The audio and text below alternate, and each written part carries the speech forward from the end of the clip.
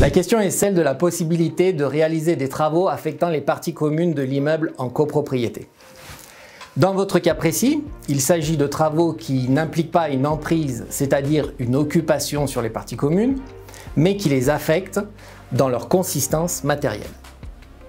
Ces travaux doivent donc être impérativement autorisés par une décision d'Assemblée générale adoptée à la majorité des voix de l'ensemble des membres du syndicat des copropriétaires. En outre, les travaux devront être très précisément définis dans le procès verbal d'Assemblée générale puisque seuls ces travaux seront autorisés à l'exclusion de tout autre.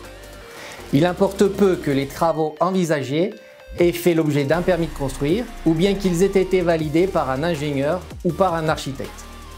Si les travaux n'ont pas été expressément décidés en Assemblée générale, ils seront irréguliers.